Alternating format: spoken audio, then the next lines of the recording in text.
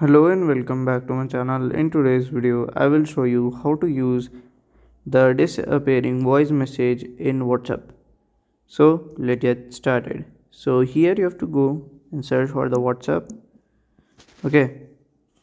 So here we can see it. So to do that, I will just you can just like press and hold it here and like my mic is working with my recording that's why I can't record it but when you list record you have to left swipe it and then you have to click one time uh, like one time view. When the person one time listen it then it will be automatically uh, deleted. So by this way you can just do it and it's an easy process too. So